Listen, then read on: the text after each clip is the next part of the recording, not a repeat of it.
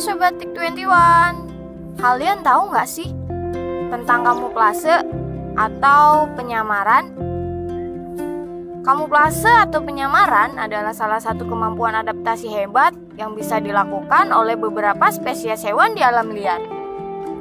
Tujuan penyamaran tersebut adalah untuk bertahan hidup di alam liar. Entah itu menghindari predator ataupun berburu mangsa. Namun, Biasanya spesies hewan yang sanggup berkamuflase menyerupai daun memang cenderung lemah di hadapan predator. Dilansir dari dmtime.com, kamuflase hebat 5 spesies hewan yang sangat mirip dengan daun. Nah, hewan-hewan apa saja ya yang sangat mirip dengan daun? Daripada penasaran, yuk simak videonya. Yang pertama yaitu ikan daun. Ikan daun adalah salah satu spesies ikan yang bentuk tubuhnya sangat menyerupai daun.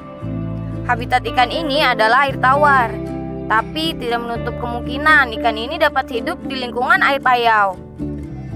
Spesies ikan daun ini merupakan spesies ikan yang tersebar mulai dari perairan Amazon, Afrika Barat, India, hingga Asia Tenggara. Ikan dengan panjang tubuh 7,5 cm ini memiliki kemampuan kamuflase menyerupai daun untuk menjebak ikan-ikan kecil yang tidak curiga dengan keberadaan ikan ini. Sepintas memang mirip dengan daun di bawah air ya. Kedua yaitu kupu-kupu daun. Kupu-kupu daun adalah spesies kupu-kupu yang memiliki kemampuan penyamaran layaknya daun kering.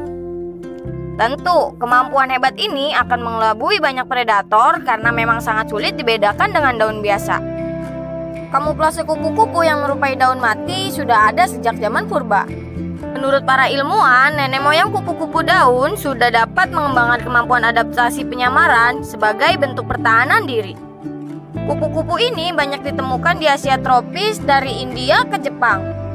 Mereka memiliki sayap yang jika tertutup sangat mirip dengan daun kering, lengkap dengan urat-urat daun yang berwarna gelap. Penampakan daun kering ini hanya terlihat saat mereka menutup rapat kedua sayapnya.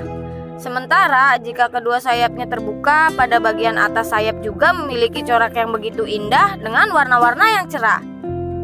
Jenis kupu-kupu ini benar-benar melakukan kamuflase yang luar biasa. Yang ketiga yaitu serangga daun raksasa. Serangga daun ini ternyata usianya sama dengan dinosaurus loh. Sudah ada sejak 40 juta tahun yang lalu. Jika kalian melihat langsung, pasti akan mengira serangga tersebut adalah potongan daun biasa. Serangga ini memang merupakan salah satu spesies hewan yang memiliki tubuh layaknya daun. Bahkan dapat dikatakan hampir tak ada perbedaan dengan daun.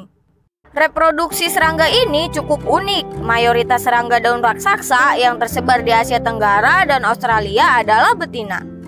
Dalam hal ini, telur yang dihasilkan serangga betina dapat menetaskan spesies baru tanpa adanya pembuahan. Lantas, apa fungsinya dari serangga jantan? Ya, selain sangat sedikit, serangga daun raksasa jantan hampir tidak memiliki fungsi apa-apa. Mereka hanyalah hasil dari pergeseran genetik dari semula yang awalnya betina.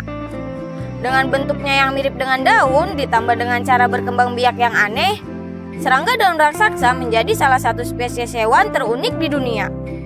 Yang keempat yaitu serangga lumut. Serangga lumut atau tongkat jalan berlumut merupakan salah satu spesies dari sekitar 3000 spesies serangga yang bergerak lambat dan menyerupai lumut.